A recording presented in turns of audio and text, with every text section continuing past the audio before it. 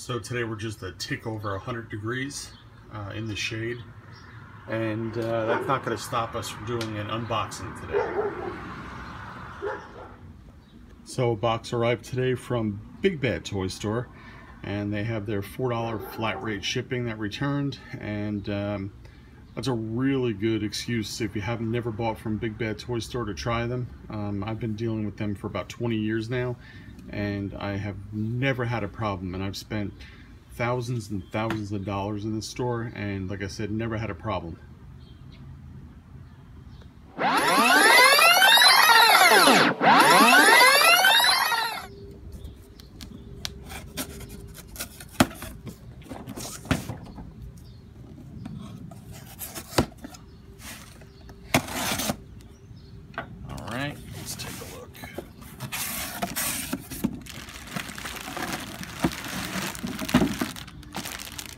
So what we have here is the uh, Marvel Select reissue of the Juggernaut.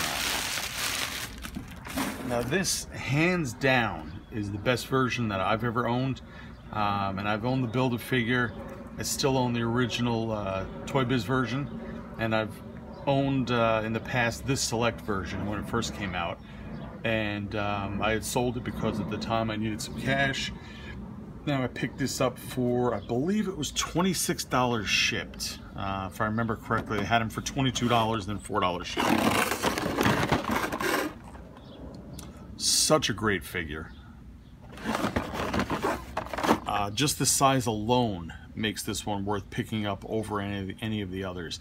And, um, you know, again, if you could pick them up for under $30, um, unless you're buying the Build-A-Figures for the, the figures that come with it. If you're going to go on eBay and buy just the Build-A-Figure for $50, don't waste your time. He's a bit smaller.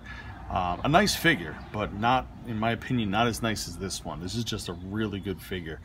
Um, I'm going to go ahead and try and open him. I don't know. I see like some of the parts just to keep the plastic on are actually like plastic riveted in place, which is kind of neat. It tells you, it tells you how hefty this figure is. I've also pre-ordered um, Thanos. They came back out with him. So if any of those figures you had missed and uh, want to avoid markup prices, uh, you can do that by pre-ordering these figures now.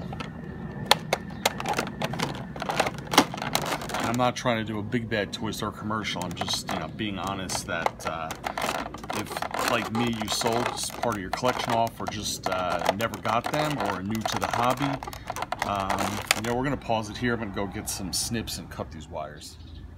All right, so we got uh, Cain Marko out of his confinement. And um, like I said, he's very heavy. That's, that's the first thing you notice about him.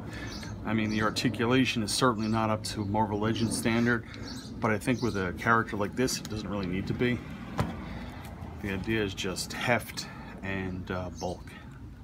So to give you an idea, idea, I went and uh, the first figure I found was Phoenix. So to give you an idea of the size difference.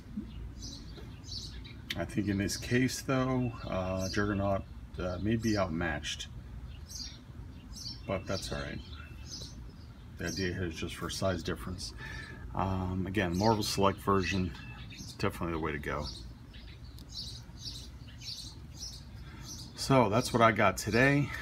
Thanks for watching and I'll catch you later. Bye. Keep watching for the next video.